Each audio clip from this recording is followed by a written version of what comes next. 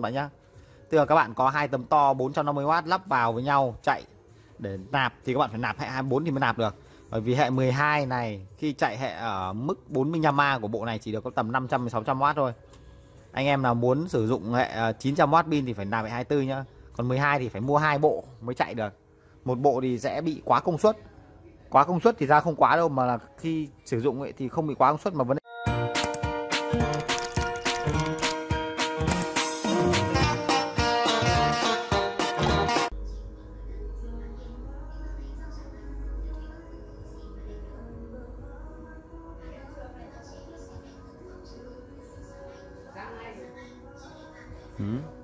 Hello xin chào bạn nhé. À, Các bạn vừa xem trên mảnh là cái câu hỏi của một bạn bạn ấy gửi đến cho uh, kênh ờ, sao để thế channel.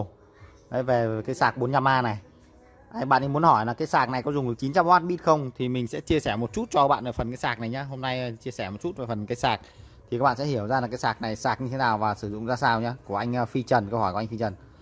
Đấy, anh ấy hỏi về cái sạc MPT 400A này. Chạy được 900W không? Cái sạc MPPT này thì nói luôn các bạn là nó chạy được hệ 12, 24 và hệ 48V à, cả 36 luôn nhá. Tức là mắc của nó là được, được đến như vậy. Đây các bạn nhìn này. Đầu vào nó là 23 đến 108 Thì câu trả hỏi của anh ấy là 900W pin chạy được không thì mình nói luôn là 900W pin chạy được với hệ 24V bạn nhá.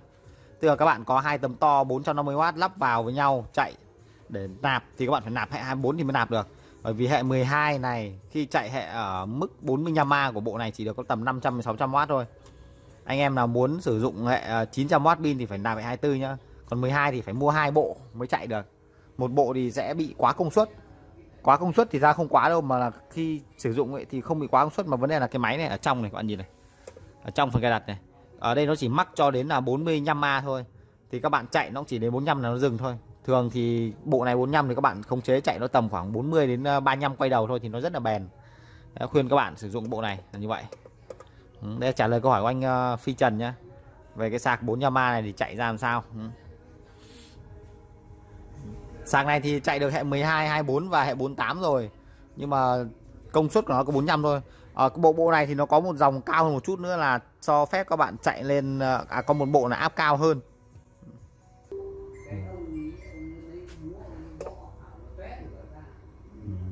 Ờ, các bạn chú ý với cái bộ sạc 4 mai nhá thì theo nguyên tắc cơ bản nhất ấy, của cái dòng sạc à, cao cấp mà dòng áp cao à áp cao mà dòng cao ấy, thì bao giờ thế các bạn sẽ phải cho hệ thống này cấp điện từ bên điện điện điện điện uh, quy vào trước nhá. Từ cái đầu ắc quy ấy, là bao giờ phải cấp vào trước sau đó là mới cấp đến điện từ pin mặt trời vào để tránh tình trạng là áp vào cao quá bởi vì thường các bạn lắp bộ này áp sẽ tầm một trăm rưỡi ít người ăn lắp áp dưới 100 lắm thường là lắp áp khoảng trăm rưỡi bởi vì lắp tấm to mà. Hoặc 90 100V thì áp rất là cao thì như thế cái bộ này sẽ không không đảm bảo được cái hiệu suất hoạt động tốt và độ bền nhé. Thêm nữa là khi lắp bộ này thì sẽ phải thêm một phần nữa là lắp thêm cái um, cái, cái ờ, dây tiếp tiếp mát cho mình để nó xả tĩnh điện. Để tăng độ bền lên. Xả tĩnh điện nó chạy rất là bền luôn. Cái bộ này là chạy được khoảng gần 2.000 số đấy. Rất khỏe luôn. Ừ.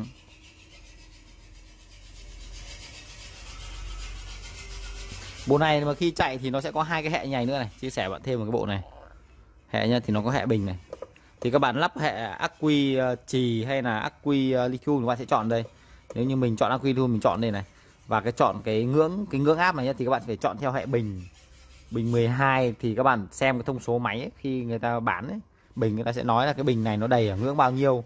Thì các bạn sẽ cài cho mình chẳng như 12 thì cái bình 12 chẳng như một số bình như bình lithium này nhá bình lithium này thì ờ, 12 của nó thì ngưỡng đầy của nó tầm khoảng 14 các bạn sẽ cài là 14 nếu hấp 24 thì sẽ lên là 28 14 nhân 2 là 28 và sẽ tiếp tục nhân lên để ra được cái hệ 48 đấy là mắc mắc thông số. Còn cái dòng này của nó ờ, đầu vào thì sẽ là, đầu đầu ra sẽ tối đa 45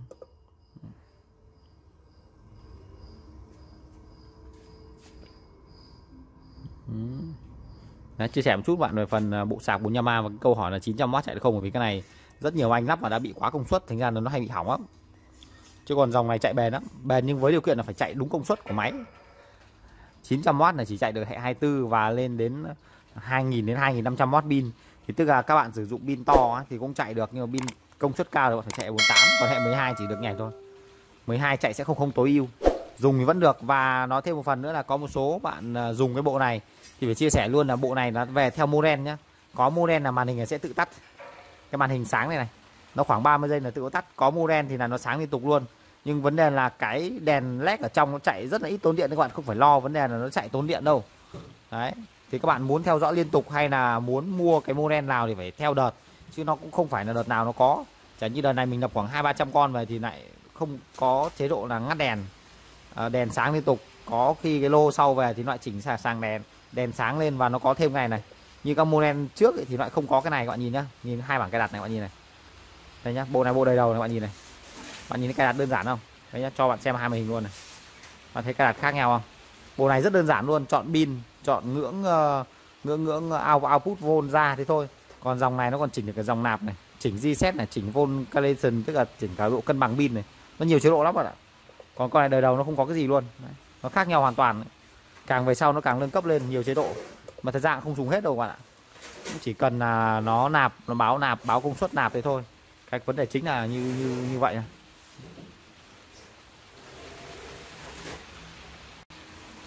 Ừ. bạn nào mà có câu hỏi hoặc thắc mắc nào nữa thì sẽ comment dưới bình luận nhé. Bình luận thêm mình sẽ lọc một số câu hỏi mà nhiều anh em hay hỏi thì mình sẽ trả lời các bạn bằng quay bằng video luôn cho bạn xem nó dễ hình dung ra hơn về cái cách uh, sử dụng để tránh uh, tình trạng uh, nó hỏng hóc và sử dụng nó được bền hơn.